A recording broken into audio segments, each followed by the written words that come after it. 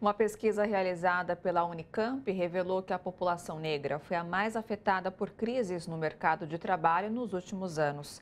A reportagem é de Caroline Campos. A retração econômica de 2015 e a pandemia de Covid-19 agravaram o quadro de desigualdade já existente. Em 2012, a população negra representava 69% das pessoas em desalento em 2019, esse número subiu para 74%, mais de 3 milhões e meio de pessoas. Essa pesquisa, ela nasceu como projeto lá em 2018, né, quando eu entrei para o mestrado. Eu já tinha vontade de estudar mercado de trabalho e ainda colocando o recorte racial. Eu já vinha estudando isso na minha graduação, então foi algo que eu trouxe para o mestrado era uma necessidade de entender, de entender a sociedade como um todo.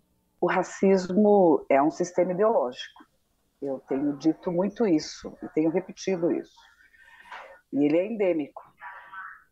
Então, é, a forma como ele se evidencia uh, nos coloca em diferentes índices de exclusão social.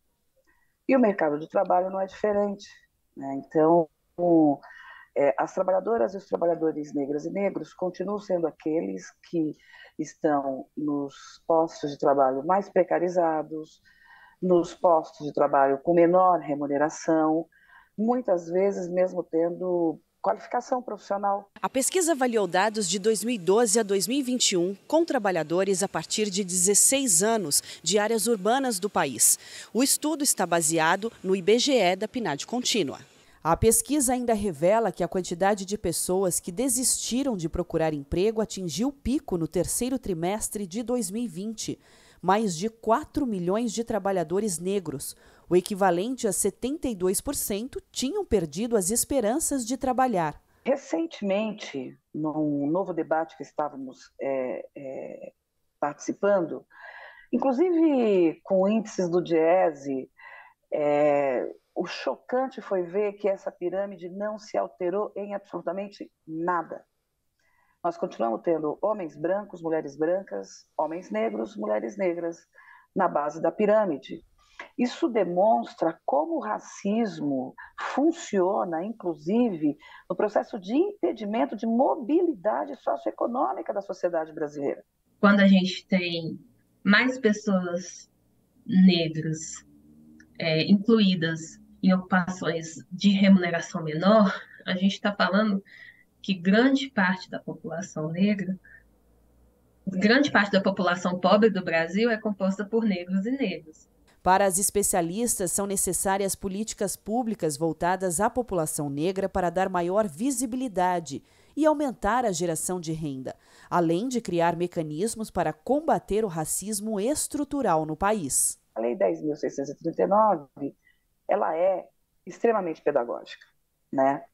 Porque ela, ela, ela nos propõe a uma reflexão curricular nas escolas e nas universidades.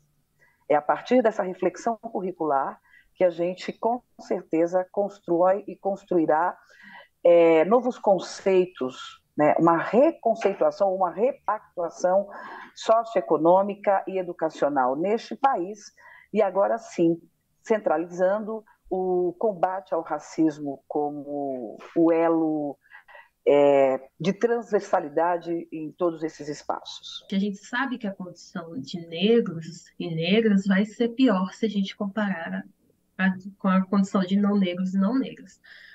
Então, a gente parte desse pressuposto, é, devido ao, ao, racismo estrutural, né, que, que é o que molda e o que forma a nossa sociedade, que são essas relações pautadas no racismo estrutural, não somente o racismo institucional, né, que é reproduzido pelas instituições, mas também o racismo estrutural.